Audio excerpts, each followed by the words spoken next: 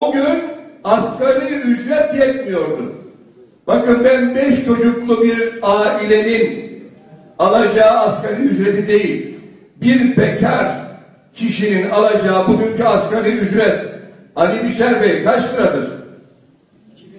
2020 lira mı? Asgari ücret kaç lira? 2020 lira bekar. Yani evli ve beş çocuklu değil. Onların daha farklı, daha yüksek. Daha yüksek. Doğru mu? Ama ben oraya geçiyorum. Bir örnek bütün meseleyi anlamaya yeterli. Ondan sonra da birkaç cümleyle sözlerimi bitireceğim. Ama burayı iyi anlayalım. Burayı anladığımızda